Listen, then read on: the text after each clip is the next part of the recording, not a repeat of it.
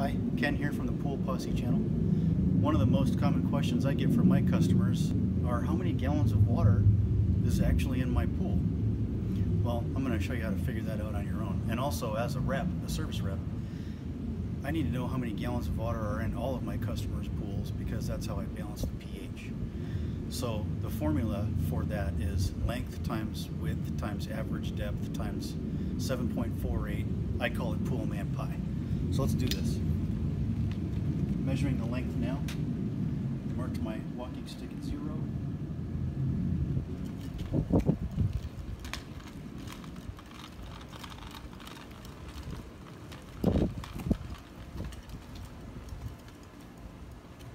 I got 24 length.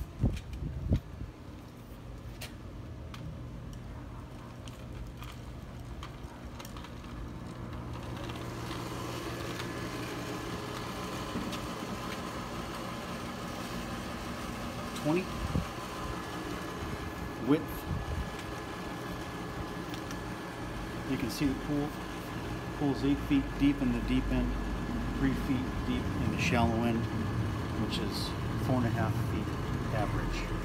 So 24 length by 20 width by 4.5 by pool man pi 7.48 equals 16,000 gallons. Hope that helps.